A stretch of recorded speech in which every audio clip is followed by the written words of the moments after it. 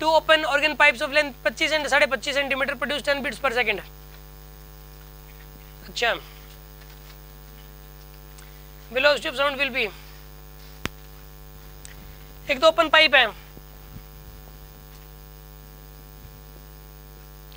25 centimetre का।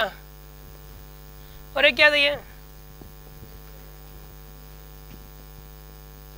साढ़े पच्चीस सेंटीमीटर का। ठीक है ना? दोनों को फंडामेंटल से बजाया गया अगर नीम मेंशन करके तो फंडामेंटल से बजाएँगे नीम के किससे बजाया गया पता ही नहीं। तो फंडामेंटल से बजा दो। इसकी फंडामेंटल फ्रीक्वेंसी क्या होगी बताइए? V by two into twenty five into ten test पर माइनस टू इसकी इसकी भी इसकी फंडामेंटल फ्रीक्वेंसी है। और इसकी फंडामेंटल फ्रीक्वेंसी क्या है? वी बाई ट्वेल्व कितना गए? इसकी फ्रीक्वेंसी ये वाली है फंडामेंटल और इसकी फंडामेंटल फ्रीक्वेंसी ये वाली है, ठीक है ना? आपको बताना क्या है इसके इसके अंदर? आपको बताना ये है कि इसके अंदर इनका डिफरेंस कितना दे रखा है इन दोनों का? दस दे रखा है इनका डिफरेंस तो। इनकी फंडामेंटल फ्रीक्वेंसी का डिफरेंस दस दे रखा है। तो इनमें बड़ा कौन सा लग रहा है, बताइए आप?